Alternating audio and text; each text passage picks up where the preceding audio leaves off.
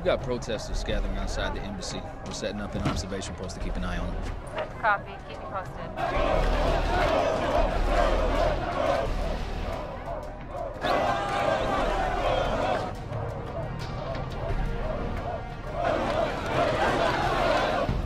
Here's Crowley. Welcome, Lieutenant. Uh, I'm sure Mr. Doyle. Master Chief, Excuse me. I'm an E9. Uh, you're not an officer. Sorry to disappoint.